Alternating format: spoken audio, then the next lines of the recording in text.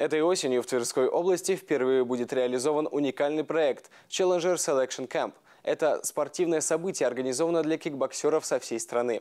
В чем его особенность и как проходит отбор спортсменов, узнал наш корреспондент. Challenger Selection Camp – это захватывающее десятидневное событие, где спорт и медиа сливаются воедино. Участников ждут интенсивные тренировки, медийные мастер-классы и невероятные испытания. Организатором проекта является юниорская лига кикбоксинга.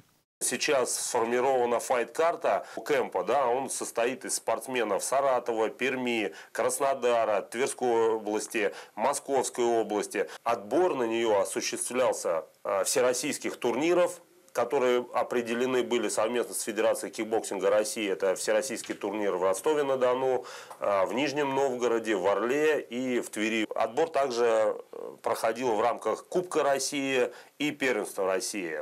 С 9 по 19 сентября лучшие молодые кикбоксеры России получат шанс выйти на профессиональный уровень и продемонстрировать свои навыки в уникальном реалити, который не оставит равнодушным ни одного зрителя.